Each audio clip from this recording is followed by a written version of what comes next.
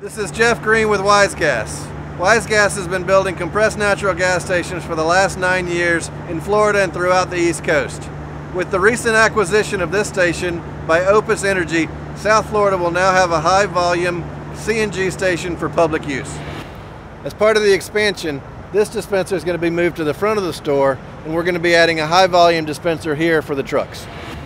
With corporate customers such as Cardinal Logistics, Saddle Creek Transportation, and AT&T, there's no better time to get in the game than now to save 30 to 50% on your fuel costs.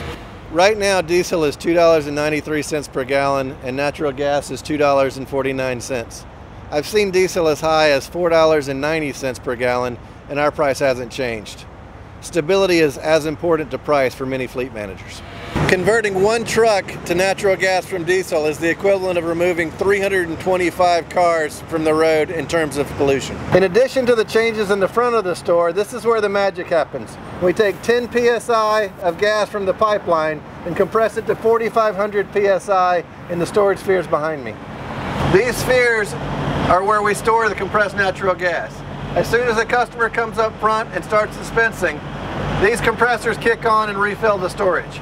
As part of the expansion, we're doubling the amount of storage, and as our business grows, we have the ability to add more compression.